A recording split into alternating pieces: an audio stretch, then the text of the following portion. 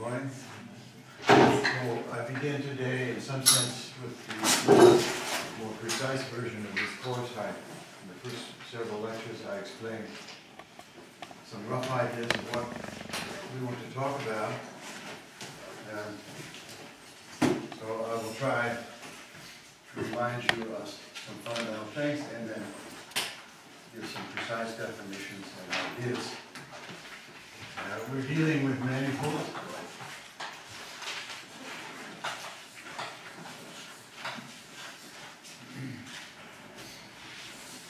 And when we have manifold hat, when we have a manifold, I will usually denote it by M.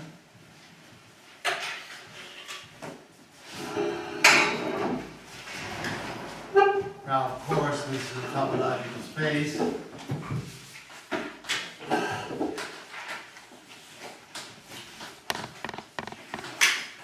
know, which is much better than some just general topological space. So I'll go off.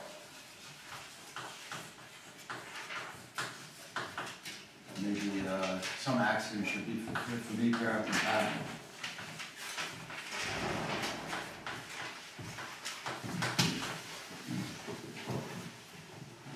Don't worry too much about this. The main point is that this comes equipped um, with an atlas.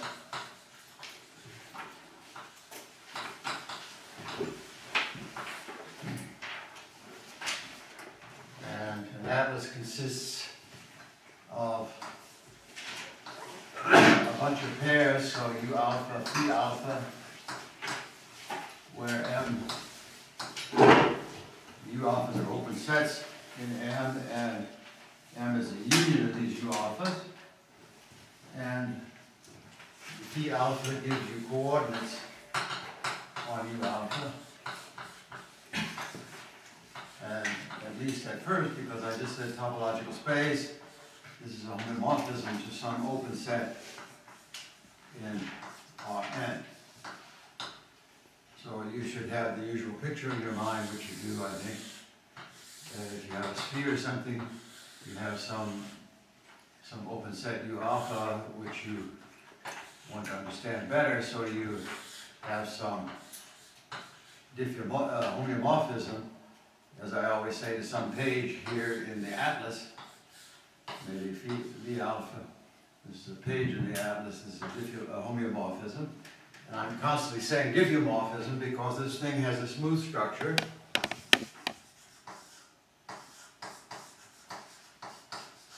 And when I use the word smooth, I mean C infinity.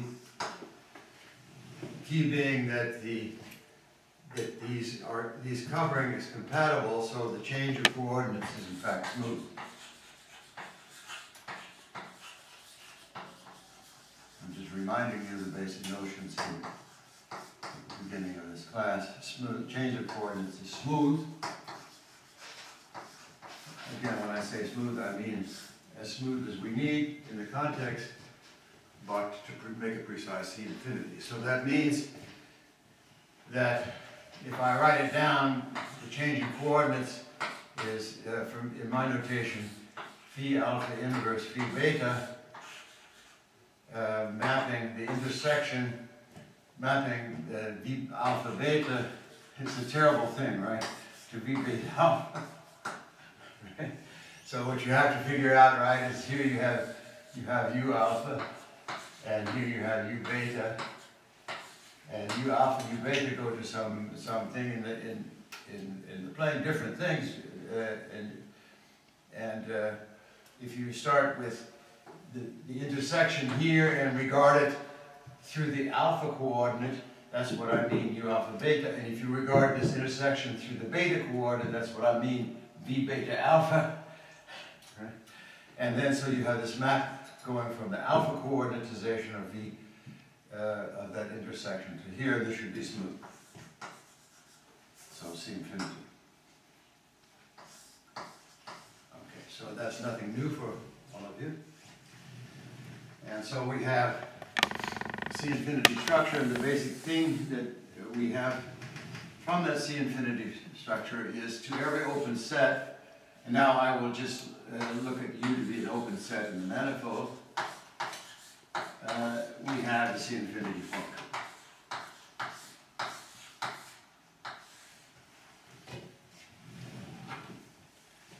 For every open set, we have the C infinity functions. Now, I'm always making propaganda uh, to make sure everybody looks at the algebraic structure. This is a commutative ring with identity. So this is a commutative ring. So what does that mean? It's just, it has exactly the algebraic structure of a vector space, except you should think that the scalars, that, well, you can add, excuse me, you can add and multiply. So this, let me, let me just,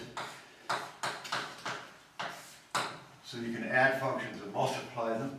This is really boring. So you have uh, uh, f plus g is an addition. It's a abelian. It's a commutative and multiplication is also abelian and it's associative.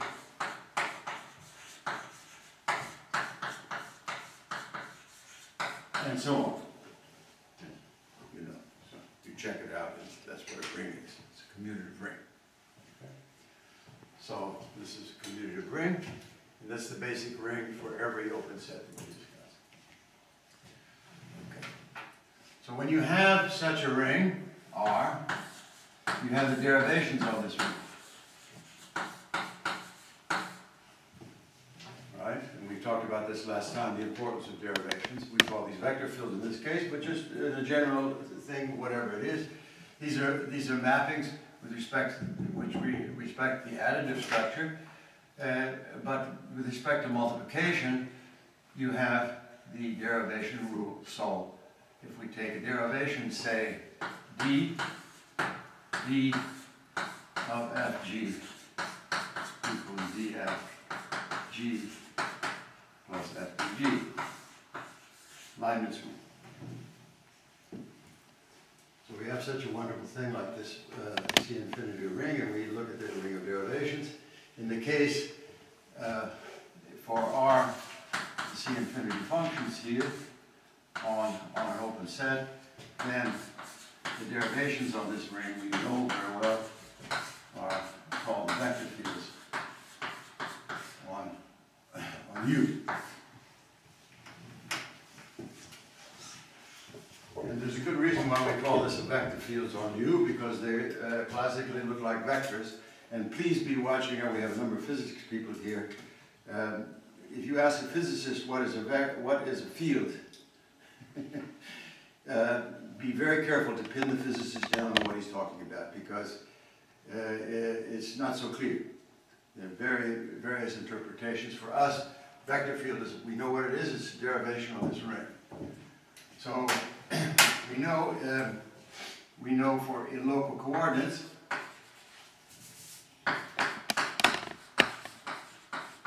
so if we have a, a local chart,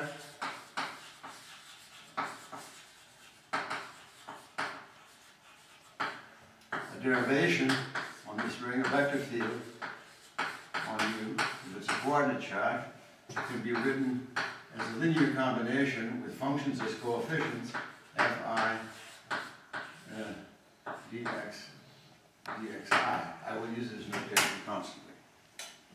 Okay, so I, you're familiar with, you are familiar with this notation. I know that. But when I don't say anything, it means we're summing over over this uh, with the index. So if, if if I did something like put some other thing here like alpha, then that then there's no there's no uh, place to sum over here. And so I would really be talking about something alpha, but I, I didn't put it so in local coordinates, that's what a, a vector field is.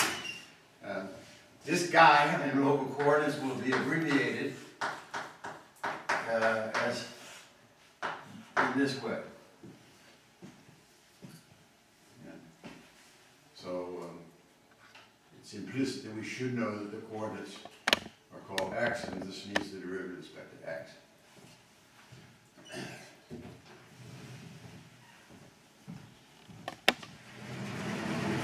Now, as you all know, uh, you can evaluate a vector field at a point.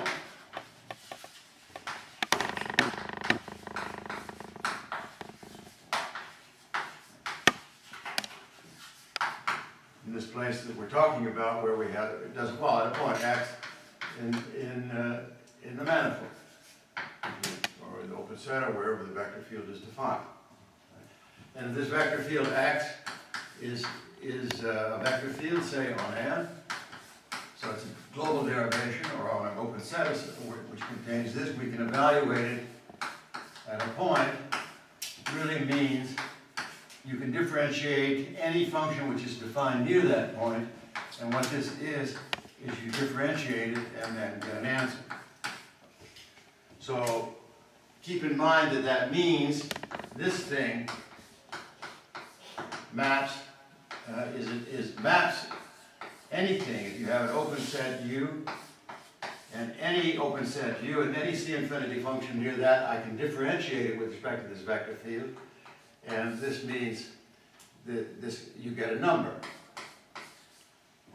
So what this derivation rule is, this thing on the product is no longer a function, it's a number, it's the evaluation of the function at x. This is what you do sometimes in calculus, uh, times, times the derivation of g, uh, let's be very precise. So at x of g, this is really boring, I know. So the derivation of f of f at x times g of x. So you get a number, real number. So an evaluated derivation. And so what that says is a basis for these things for the such uh, derivations at a point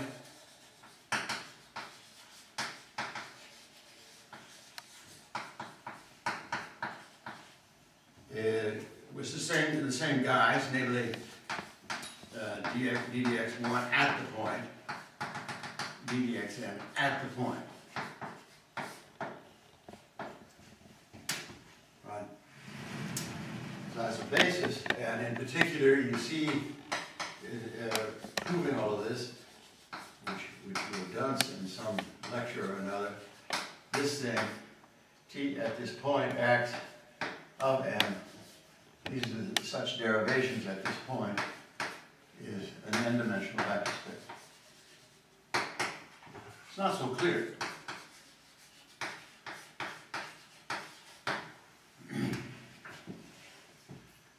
So that's a review of every, everything, uh, just to set the language. Uh, and now, as you, as you know how I think, I always think in a picture, a manifold M is a base space of our discussion. Sometimes I call it the base space of the discussion. And for every x in, in the manifold, you have associated a vector space, namely the tangent space at that point. If you have another point, y, you have another tangent space at that point, and so on the fundamental picture that makes the difference between beginning calculus and, and advanced calculus, which we're doing here, or mathematical physics, which you're doing, is these vector spaces are all different. These vector spaces are all different. There is no canonical way to say that vector space is uh, canonically identified with that space. There is no canonical way to say that that vector space is, is identified. The way to do it is given to you by the physics. The way to do it is given by, by some additional structure. So as I said last time, we're dealing with manifolds plus. And the, the plus part is some way to identify tangent spaces so we can differentiate and so on. Some additional structure.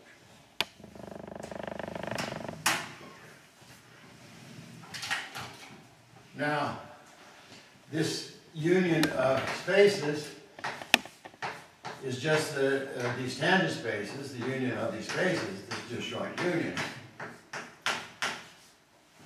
That, that's my picture. I stand, as you all know, I stand with draw this picture. This, all this formal union like this. And I was telling Sandeep, because this has to do with the farmer in, in, in Nepal, someplace, is there is at least one section around here, it's called the zero section, that God gave us. In Nepal or Germany or wherever you're thinking, there's, it doesn't matter, there's exactly one zero section, and that's it. There's nothing else canonical.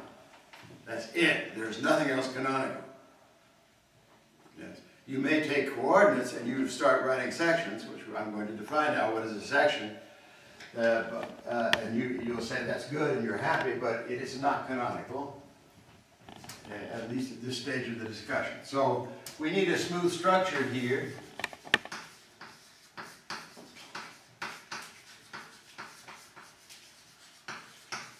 on, on this tangent thing. And this tangent, this smooth structure is most easily defined by, by a frame. So if you have, if you have, so defined by a frame.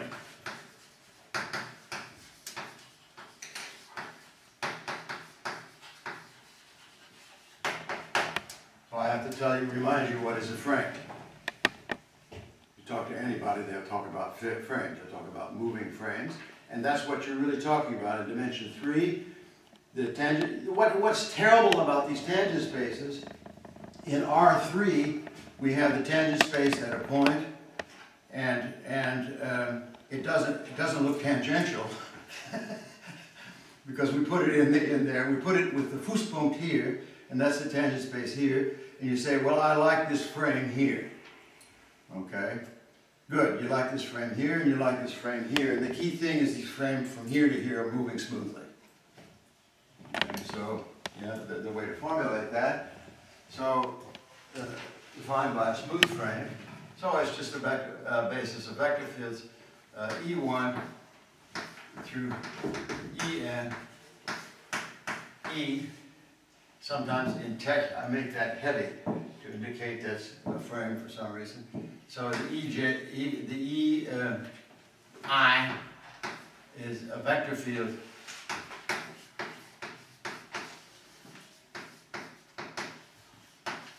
On U, and E1 of x through En of x is a basis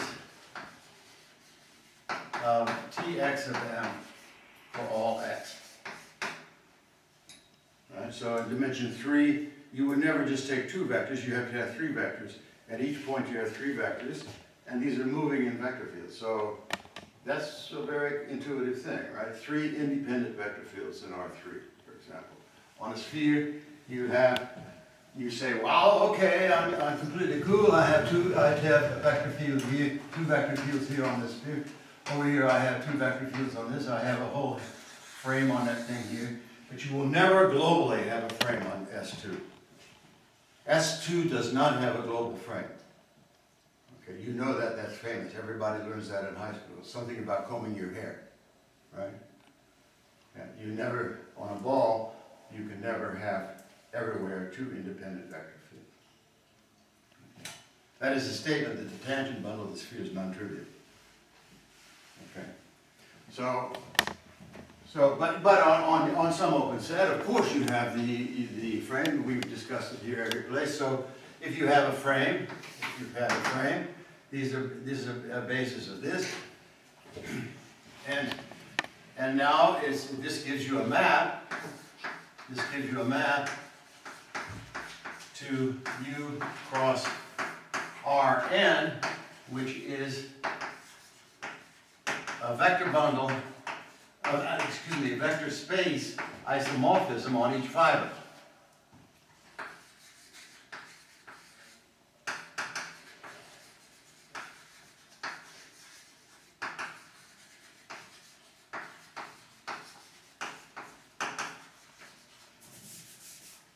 Yeah, namely, V goes to let me say, uh, I said, I said U cross, so V at X, so I think it's very convenient, V at X, you write a point in the, in the bundle, V, and you indicate that it's projected to X, so it's at a Fußpunkt X. V at X has coordinates goes to its, its x, its Fußpunkt, and its coordinates. V, a vector, goes to its Fußpunkt and its coordinates. It tells you where it is. That's great, because it, that means this guy here, really, I know where it is if I know its Fußpunkt, and now I need to know its coordinates. Its coordinates with respect to this frame. So the coordinates with respect to the frame are C equals C1 through Cn, if you like. I think it should be a row vector. And uh, it means that V of x is a linear combination. So C at uh, uh, C1 of V, E1 of x Cn of V, En of x. That gives you an isomorphism, so that means even though this whole thing is perhaps not trivial, in the neighborhood of x, where I have these, where I have a good frame, this part here is, is at least bijectively, and then using the coordinates, the smooth structure here, uh, I, I uh, bring back the smooth structure to here, and we see that it's compatible, and this gives it smooth structure over there. So a vector bundle is a union of vector spaces, which, which can be framed. That means over some open sets, you have a frame and you have the smooth mapping to U cross RA. Okay? You okay? So, We need, a- yeah, you're gonna, let's, let's, let's think about it. Remarks? Yes. yes, so is this, so often we said, um, in some of the previous lectures that um, a tangent, tangent bundle has a smooth structure that's compatible with the manifold. In particular, it's compatible with the manifold, yes. Yes, That means, what, well, he said, he- I'm gonna read, you maybe don't hear his question. He says it, it has a smooth structure which is compatible with the manifold. Mhm. That in particular, the upstairs space is a differentiable manifold, the downstairs space is a differentiable manifold.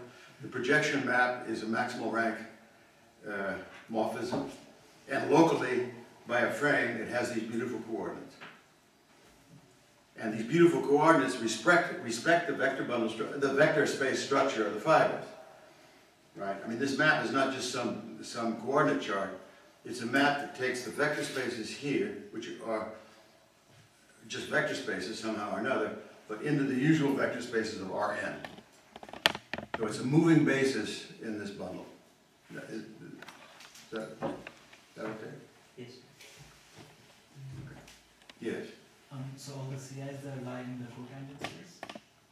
Because Hmm? all the CIs there, right? They lie in Oh, the yes, okay, so yes, I, that's very good, so remind me to say that in a minute, okay? He says that, uh, I really underline this business about if you have a basis of a vector space and you take a vector, right? Then you express it in coordinates with these coefficients. These coefficients are linear functions on the, on, on- the vectors. So they're ele- elements of the cotangent space, of the dual space.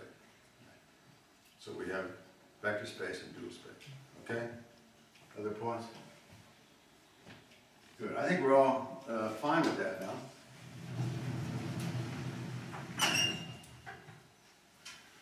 So that's the tangent bundle. And it has smooth structure as above.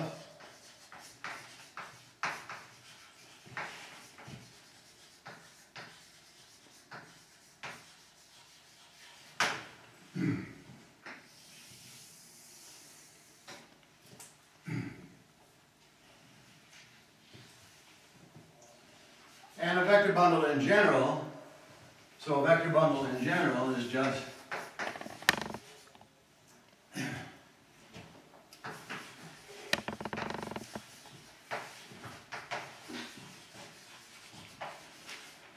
is is, and I'll repeat exactly what I just said to you. You, you think of your favorite tangent bundle if you like, but there is a covering of the base. So upstairs is a differentiable manifold, downstairs is a differentiable manifold. There's a maximal rank su- surjective map from upstairs to downstairs. The fibers are all vector spaces. It's not enough. it's locally trivial. I think it's not enough. You should check to see what more you need to prove that it's locally trivial. It's close. Again, smooth upstairs, smooth downstairs, maximal rank surjective map. All fibers are vector space. Yeah. But it's locally trivial. That means you have a frame downstairs. That means for n, n maps into the, into the bundle space, E1 through En. Yes?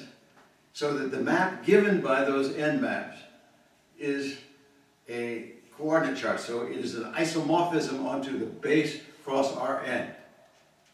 Right? And that gives you the smooth variation of, the, of everything. Right? So you, I think you need, need that map. But maybe you get it free. I'm not sure.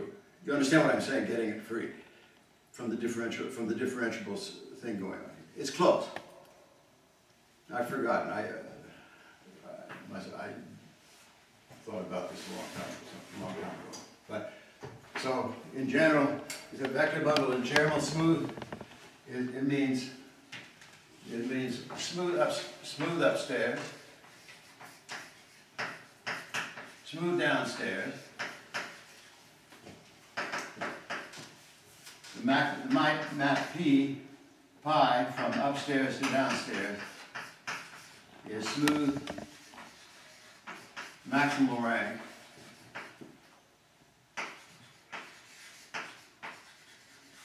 Surjective.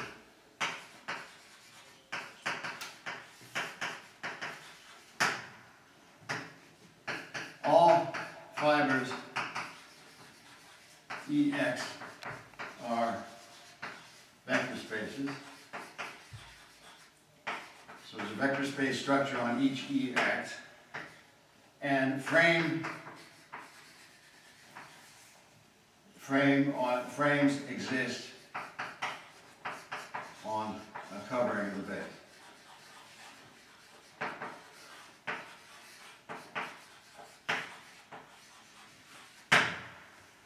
Right? Okay. That's a vector one. Okay. Um, yes, ma'am. Um, so what, what's the covering of the base? What do you mean by? Open, open, uh, open covering. Okay. It's just- Oh, I I understand. You see, that could be, uh, I could have made a a very mysterious statement there. I could have meant, after you do an unramified covering of the base, you have something, something like this. I mean by that, open co- uh, covering of the base by, by open subsets. Right. Yeah. But it, right, by open subsets.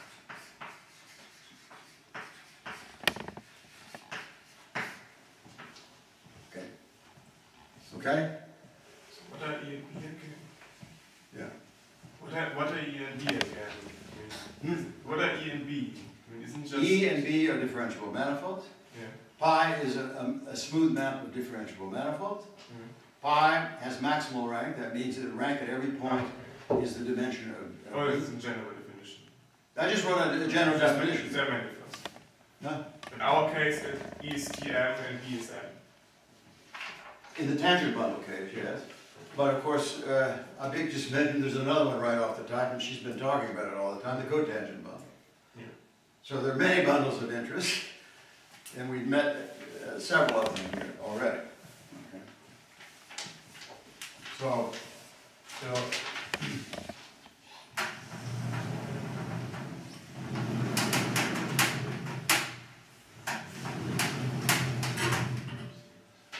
So, first two examples.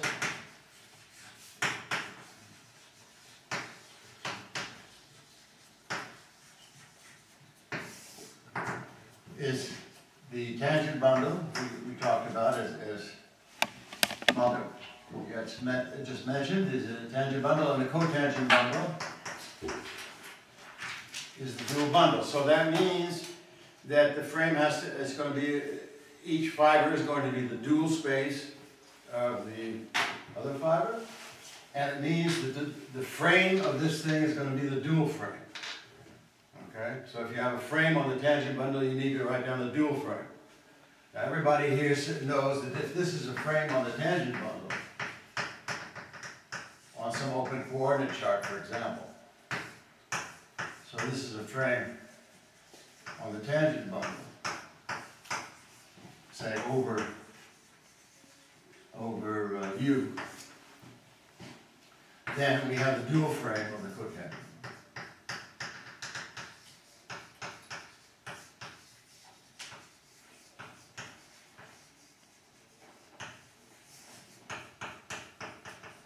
Over the same set. Right? That's, right? And you all know what that means. That's the definition of dx. That's, in some sense, the definition of dx. Leibniz would have liked this problem.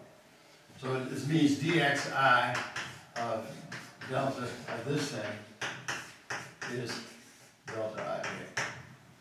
It's the dual base. Okay. So people have different notations for that, but uh, I, I, my notation is, these are the elements of the tangent bundle, these are the cotangent bundle. Okay. Okay. Those are the first two examples. And now the, the, the, I've done nothing. This is just manifolds and the basic stuff that exists on manifolds. The key, maybe a key, a key remark is this,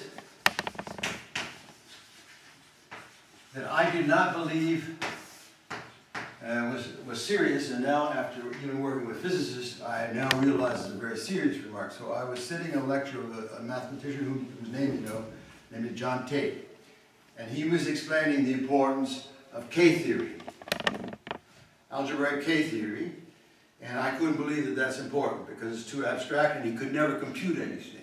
But this was about 30 years ago. And now we can compute a lot in K-theory. And there is a morphism here. It's probably this morphism, you guys will like this, it's called a functor maybe. So this functor takes a, math, a manifold maybe to K of that manifold.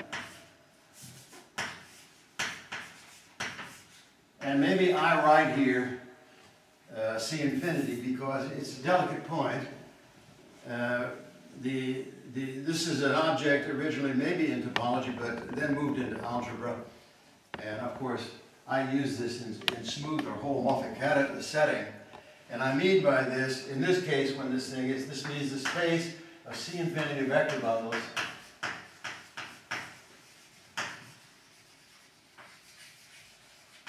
on N. Okay? You gotta believe that's an important space. Yes. You've gotta believe that's an important space, and you've gotta believe that this should somehow tell you all about N if you do this thing. And then you start asking, well, what's the structure of this thing? Well, can I add two vector bundles? Yes. Can I multiply two vector bundles? Yes. Etc., etc., et cetera, et cetera. These guys even subtract two vector bundles, just like, and, and when I saw that, I said, you have to be crazy, man, you're, you're subtracting off, what does minus a vector bundle do? Well, it's not, what is, okay, inverse vector, I don't know what that means. Yes, but it's a virtual bundle.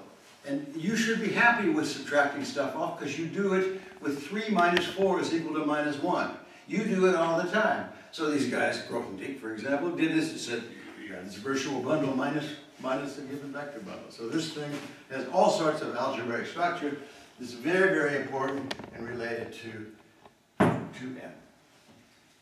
And I've actually have joint papers with physicists who, where we really use K of, of a certain uh, object.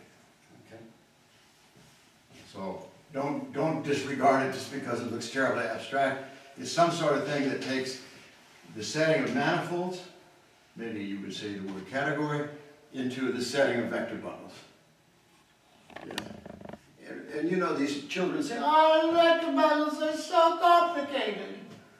And you say, it is derived. The set of all manifold is much more complicated than the set of all vector bundles. Because this thing forgets, in principle, something, right? It only looks at the vector bundle. It's like saying the cohomology theory, oh, it's so complicated, cohomology theory. A manifold to its cohomology theory is much simpler than the manifold, right? Okay. So one of the key things that we do with, with uh, uh, with these guys is we differentiate sections of the vector bundle. I have not explicitly said what a section of a vector bundle is. So, uh, so connections differentiate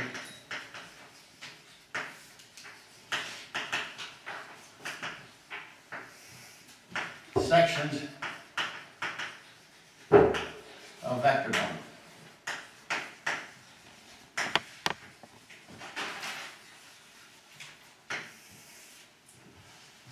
I've talked about this in the previous lectures, but uh, only roughly, and now I want to be more precise. Okay? And I also want to seek people to bring the connection to the, to what you're looking at as Christoffel uh, symbols and so on. So you can say connections, it's also Christoffel symbol, but you really want to know what these, what this, what this really is going on. Okay? Okay? And I strongly believe that it's very important to understand the background algebra of these spaces. Again, I am not a believer in pushing algebra for its own sake, but I'm a strong believer in looking at the algebra, algebraic structures on spaces and using this algebraic structure, understanding what's relevant. right? If you don't do that, you've forgotten too much, and you, you really should look at the algebra. What is the algebraic structure? For example, on K, what is the algebraic structure? That's interesting. I just told you it's interesting to talk about minus a bundle. Yeah. Connections differentiate sections of bundle. So what is a section? A space of sections of a bundle. A space, uh, sections, sections of, uh, of a bundle over a metal. So this is the space of sections.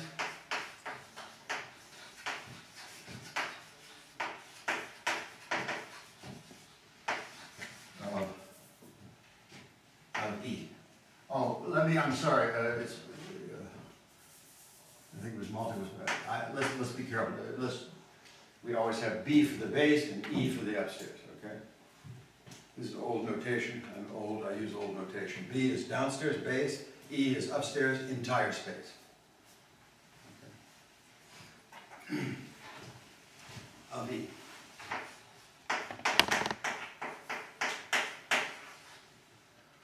Space of section. Well, uh, S is such a spa- section means S is simply a mapping of the base into total space. Well, there are lots of mappings of, of uh, the base into the total space. For example, the base is a manifold M here. You could do something really stupid, right? You, you could do the most stupid thing. You could take the M and map it all, all to a point, right? Say we map M all to this point here. That would mean that this point here would go to that point, this point here would go to that point. But we don't mean that. We mean that a point goes to a vector in the fiber above it. Yet. Uh, so S goes from B to from N, right? Have I written something, uh, oh, this is, Colin was telling me this yesterday.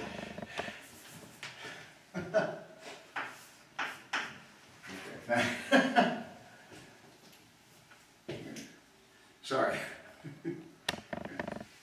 It's what happens when you get old. Other things happen also, but I, I won't, I don't wanna talk about it.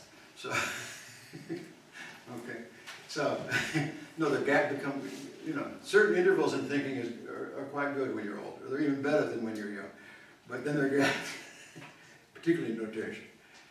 Okay. So you don't want that kind of stuff. You want, you want a point in the base goes to some point in the fiber. And that means it's really a section. But you should never write anything as a set.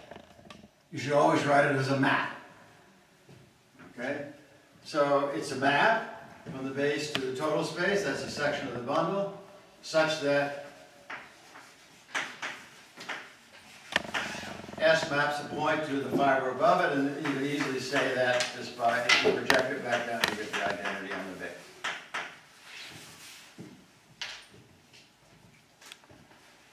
Okay, that's clear.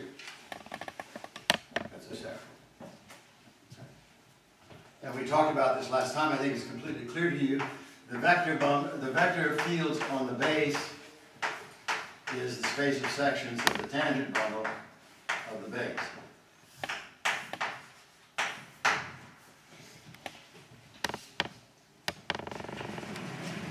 So that's the motivation.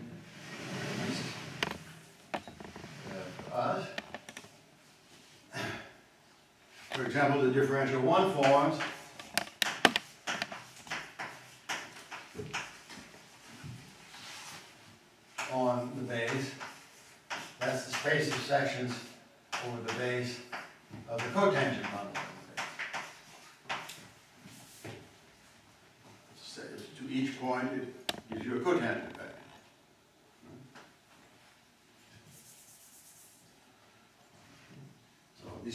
spaces of sections are very important.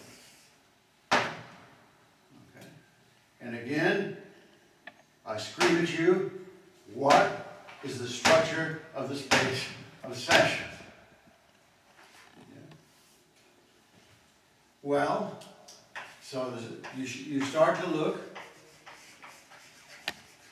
You're sitting in Nordmetall in your, in your room and looking at this beautiful weather and you're listening to some nice music and it's daytime, you haven't yet had a glass of wine. And you want to talk about the structure of this, of the space of sections of a vector bundle over a base. And so, you have courage to be stupid. You say, if I take two sections, what can I do? S and S hat. What can I do with two sections? Can I multiply two sections? No. Because that would mean I would multiply them in each fiber, right? And I don't know how to multiply vectors. Now, by the way, Grassmann himself, who is also a high school teacher, sat in his office in a high school and tried very hard to multiply. He did not you, you understand yet how to multiply vectors. But of course you can multiply vectors abstractly, but you don't land in the same space, space, right? The product of two vectors is in some other space. You have to think of the product of two vectors as a tensor, right? some abstract thing. But you, of course, you, if you have a section, what can you do with that? Multiplying is a, a bad guy. But one thing you can certainly do is you can take linear combinations. Everybody sees that, A and B, in, in the real numbers. All right, I have a section, at each point it's a, it's a vector, and I just add the two in, at each point. Or multiply the first one times two and the second one times four and add or something. That's a trivial operation, right? Yeah, but the thing is, uh, you would think of that sitting in Nordmetall, and then you should, you should have a, another cup of coffee and say, you know, I forgot something. I forgot that if you have two sections, that I can add the two of them and multiply by something, but this something can depend on the base point.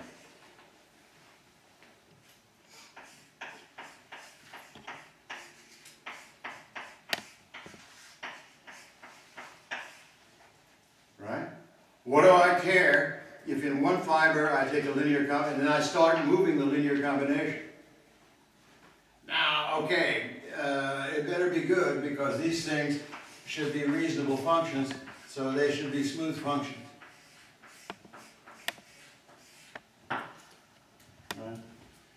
At one point, you can take a linear combination, at another point, a linear combination, but this linear combination must vary smoothly because the sections must vary smoothly.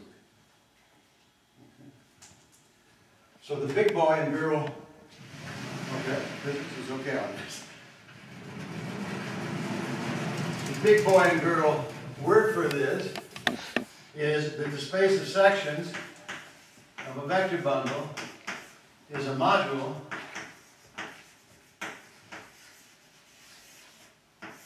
and maybe I'll call this script M for now because I want to talk about it abstractly, is a module over the ring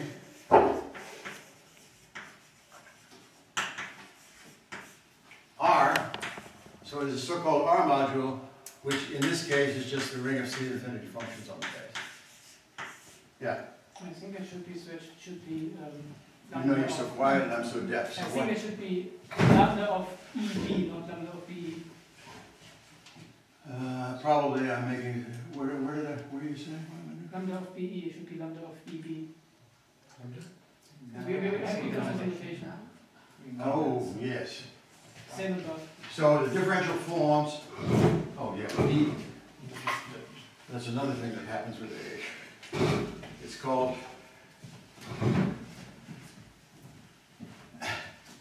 it's called the important group of order two. right? Oh, that, that, that's fine. The important group of order two that, was, acts on everything I do. that, that, that was all right. That was perfectly fine. This is okay. No, no, but- but it was okay before you. Vector, uh, the sections over B of the vector bundle E. That's So then change that. Then change this. same mistake. Change that to the- I want to write, I want to write it this way. The sections over B, you just have to say it right and then you can write it right. The sections over B of the vector bundle E. Yeah, okay, did I write it wrong here some other places? I know, I, thank you for catch, catching this. What, what, The vector spaces over B is gamma of B and then TB, right? so did I write gamma wrong? Where's gamma here? Vex, vector Here. fields over B. The, the gamma, no, the gamma. Sections over B, uh, yeah, I'll try to say it each time. The section bun, the sections over B of the tangent bundle B. The tangent, yeah. And then when you write the, um, the cotangent spaces, then it should be the other way around. No. No? Sections over B of the cotangent bundle. So first comes the base, the base, and then comes the bundle you're talking about. Yeah?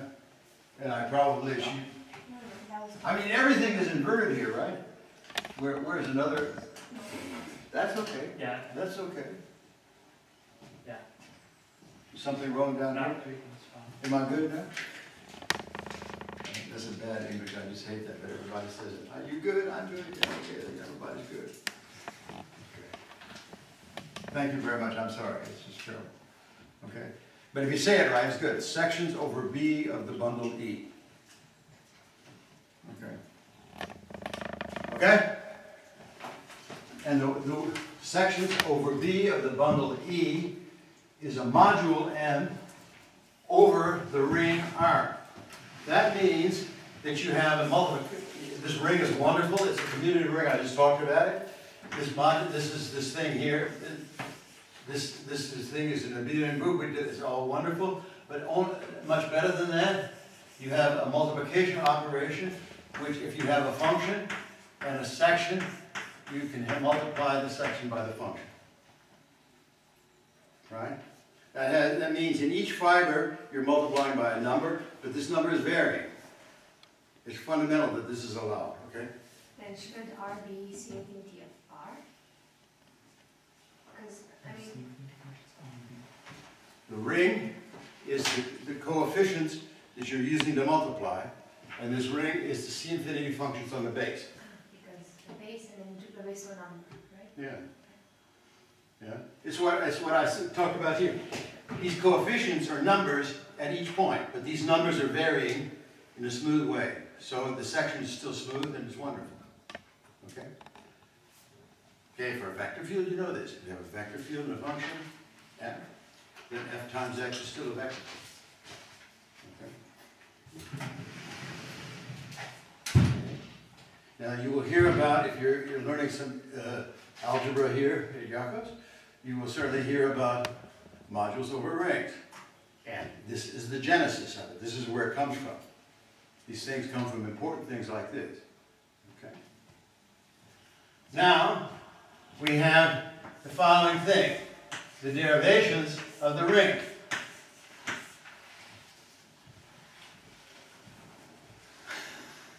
Okay?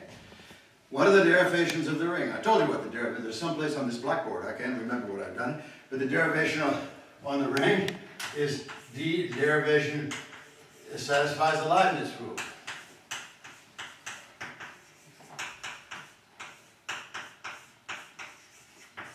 Right? Some ring, by the way, these can be really completely different kind of rings than you're talking about here.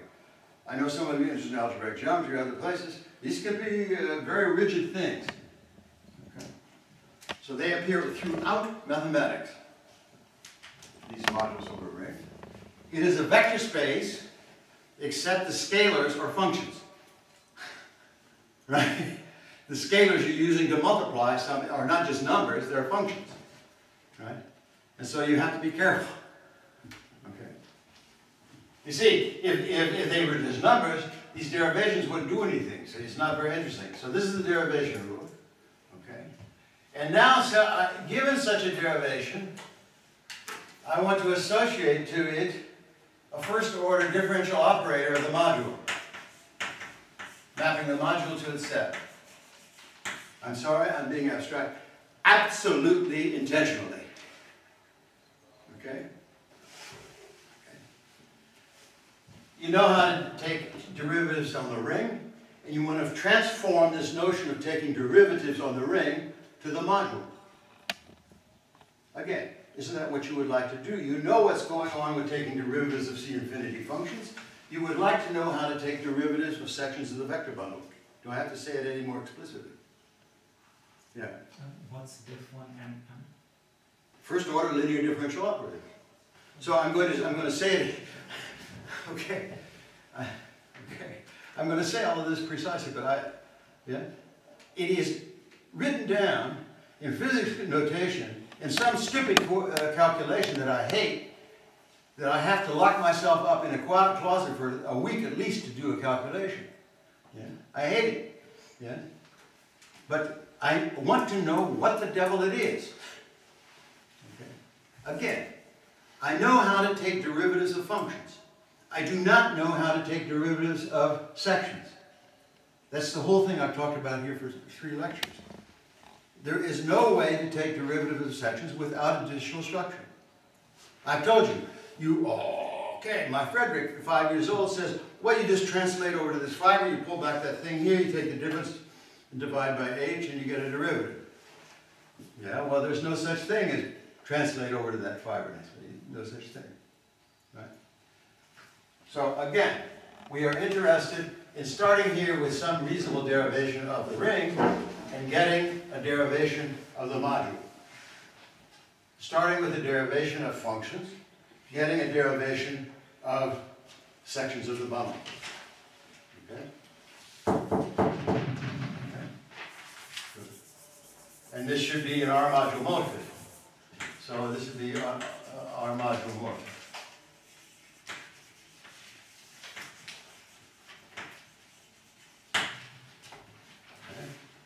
And this thing, I will use classical notation, call it nabla. Okay. Okay. So a nabla takes a derivation on the ring and tells you how it acts on sections. Right? It takes a derivative, something on, like a vector field, and tells you how it acts on sections. Nabla of x, we write this way. This is uh, uh, another notation for nabla of x, acts on sections. It acts on m. It acts on m as a first order differential operator. What is a first order differential operator? A first order differential linear differential operator is acts like a vector field. So this guy, these first order differential operators are the form uh, nabla of x of f times the section is f times the uh, nabla x of the section. And now I have to say what x does on the function. Well, I know that x is a vector field.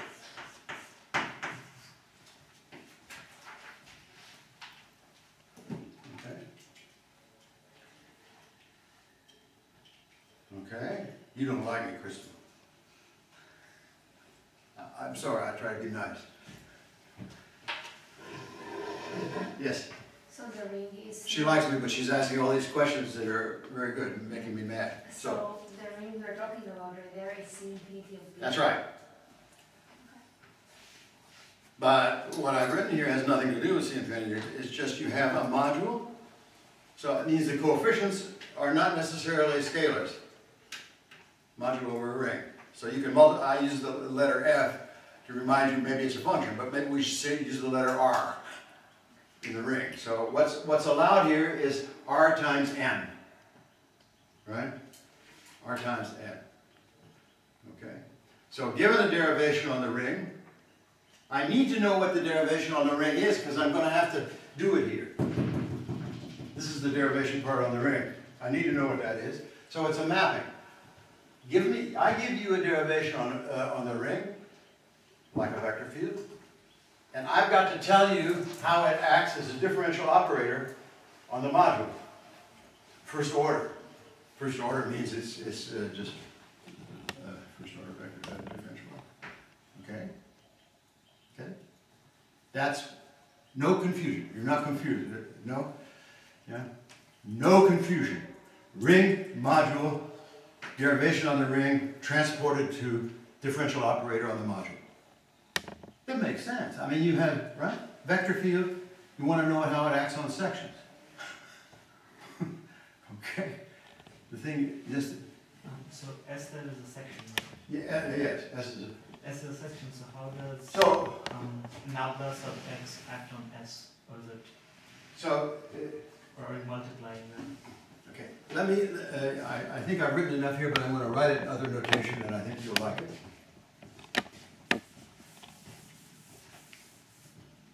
It's, it's, it's really worth doing this, okay? Okay. So,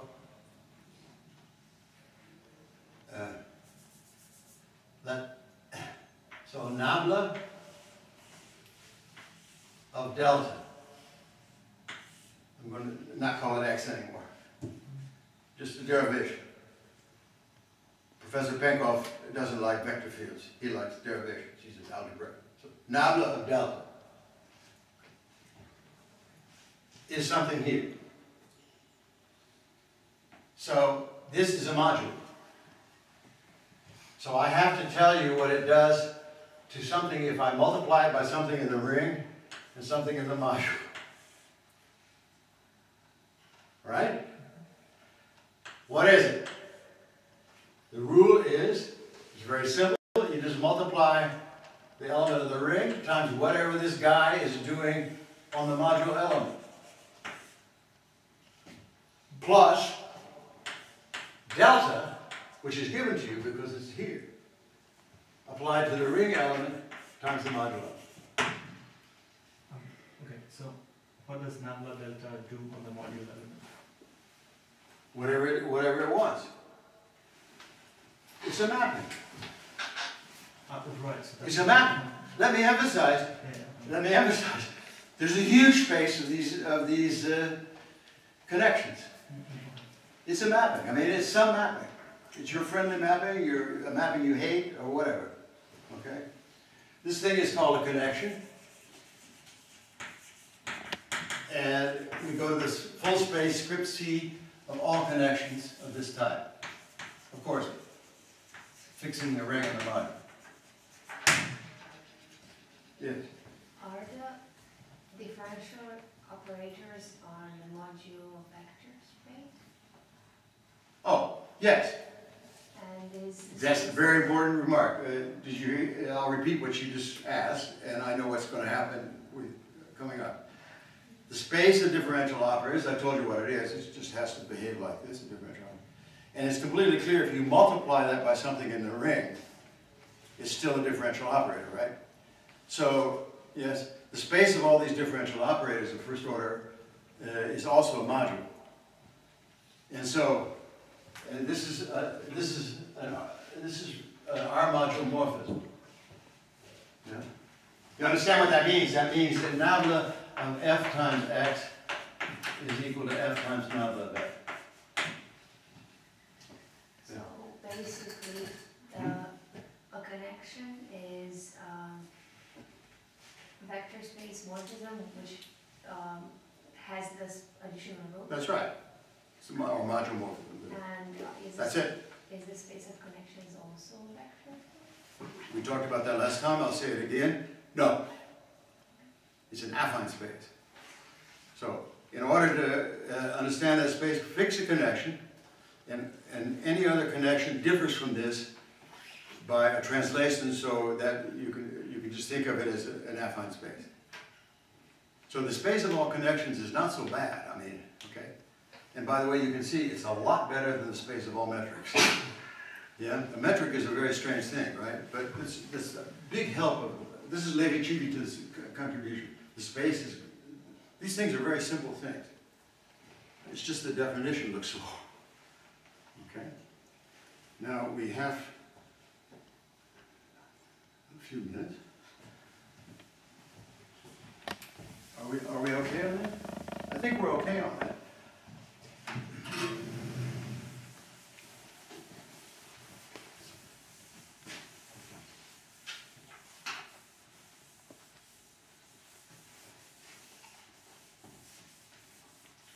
So our context in geometry, in differential geometry, our context in,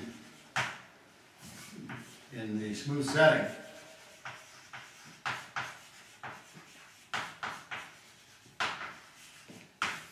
is, I'm just repeating everything I just said, the ring, it's really a Schiefer ring, so, it- but anyway, for any, for any open set, but I'll formulate it for the full manifold M.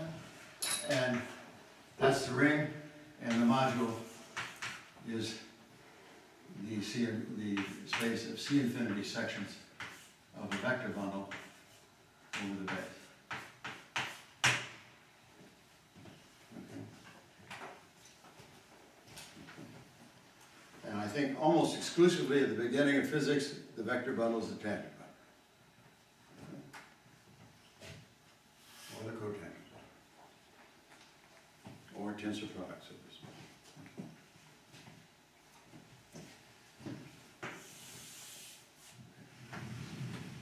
In our notation, I'll say it again. Is x, which is a vector field the. That's derivations on this ring. It's mapped to nabla of x, nabla of x times, times the section, is just f times nabla of the section, plus x to the vector of the function times. It is an extremely deep concept. It looks trivial to you, I know, but it somehow is extremely deep. Riemann had it in his mind, but it took a long, long time to formalize it correctly. I think Levi Civita could not have said this. I think uh, it was a long, long time till we could really say it.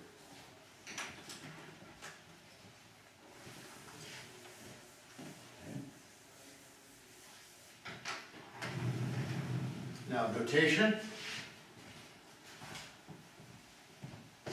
Uh, for uh, n for t and the tangent bundle, for e equals the tangent bundle.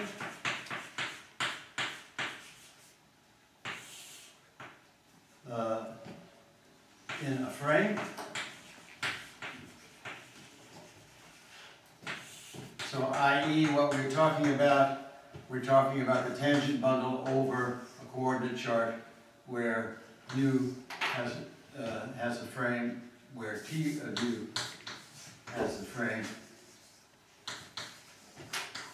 usual frame of coordinates D1 to Dn.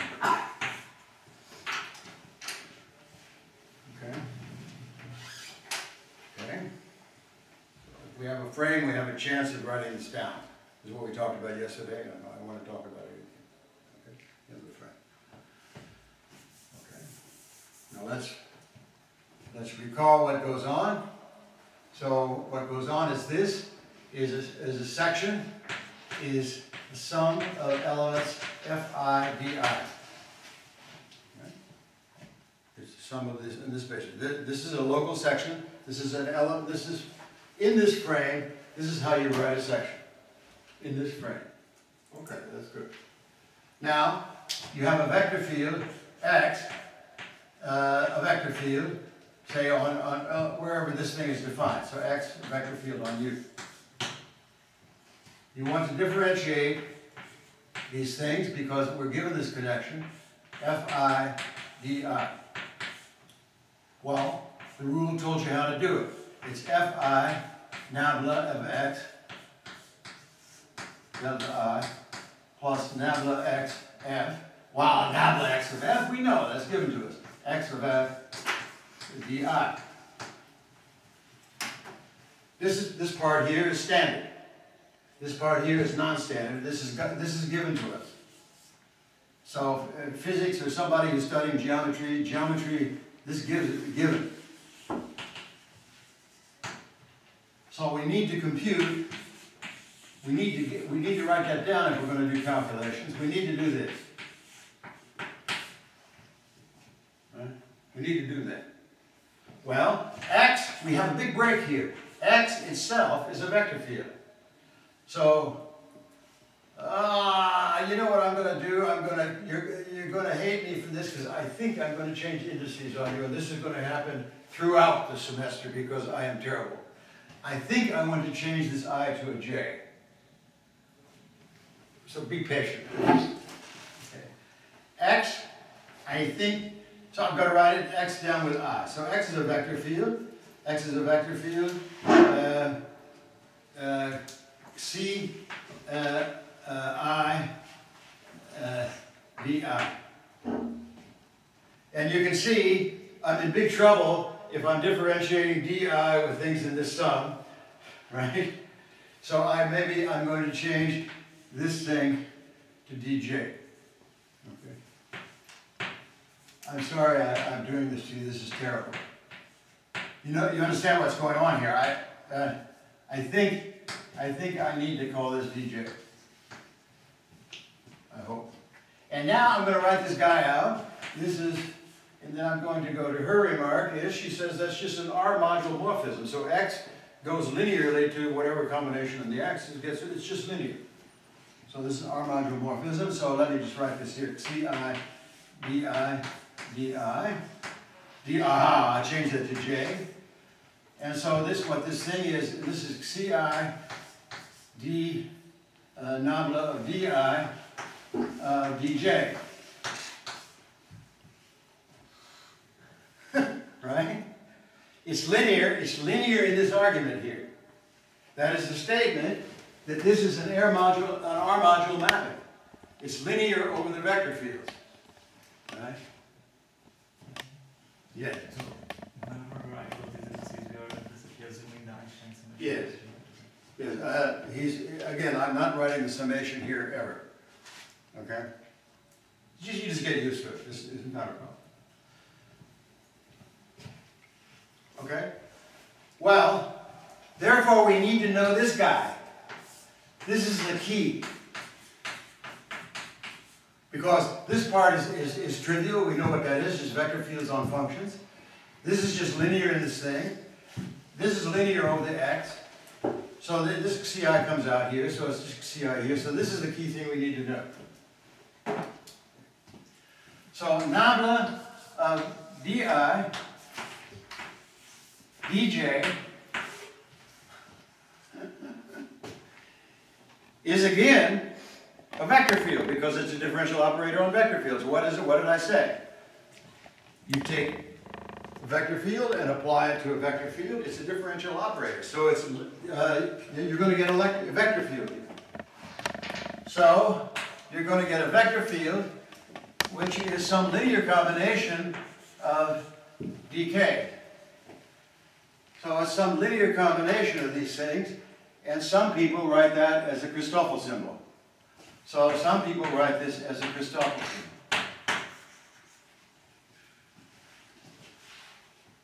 Okay. We talked about that yesterday. You're really okay on this now, right? So this this make this this yeah, this guy here, this Christoffel symbols, tells you completely what, what this connection does because everything else just follows by linearity. Right? So this thing is Christoffel symbol.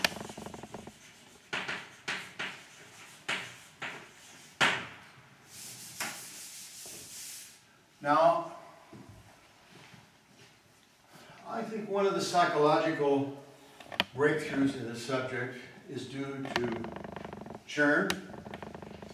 And since that time, we have written this slightly more generally. We have written data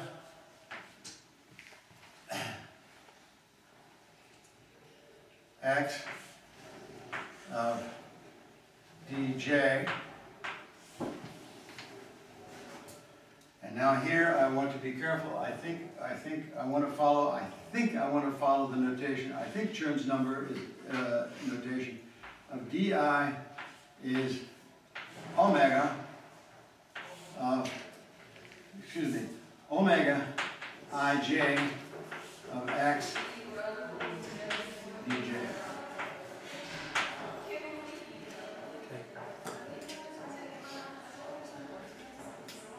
So I may have transposed this matrix, I'm not sure.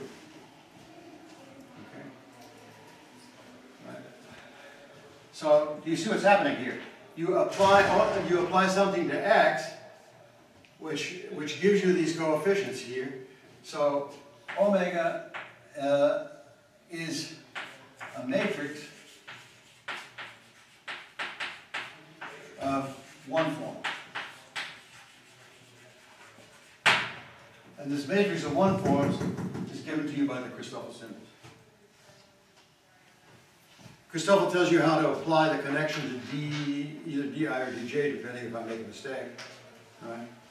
And this tells you how, it's a matrix of one forms to anything.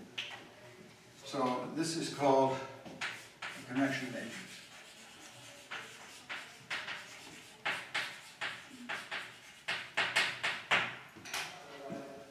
Okay? That's it. I won't bother you with any more of this nonsense. That's it. Okay. The next step is Riemannian metrics and associated connections to Riemannian metrics.